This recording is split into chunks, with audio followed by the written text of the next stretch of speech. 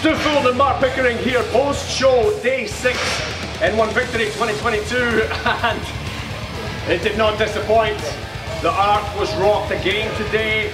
We're going to run down the A and B block matches that went on today, three in each, and have a look at the standings. So in the A block, Hideki Suzuki took on Anthony Green. With the win, he moves up to seven points. Anthony Green stays on two. The American gave a solid performance, but catch wrestler Suzuki watered him. Go Shiozaki took on El Hijo Dr. Wagner Jr. and Shiozaki, the winner there. Six points for him and Wagner now sitting on four. Kazuyuki Fujita and Masato Tanaka in the main event. If you're watching this and you haven't seen it, go back and watch it. You'll thank me later. Unmissable action. Oh, special man. main event, class of the 80s, wasn't it? The Kraken was fully released here today at Korakuen Hall, believe it. So, Suzuki goes on to face Wagner on Saturday in Nagoya, that's August the 27th. Green goes on to face Kenoh, also the same day in Nagoya, August 27th. Shiozaki will face Masato Tanaka. I don't envy him, what a performance here today. The Bulletproof Warrior looking unstoppable. Wagner goes on to face Suzuki.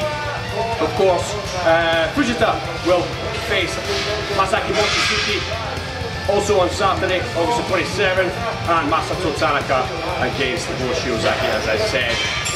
So that's the A block at the moment.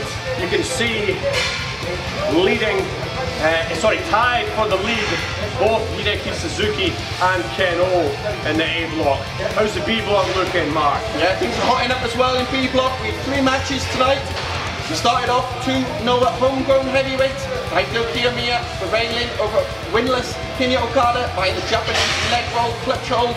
Then we saw Takashi one of the titans of pro wrestling Noah, defeating hardy Scotsman Jack Morris by the Avalanche Olympic Slam. Incredible ending to that one.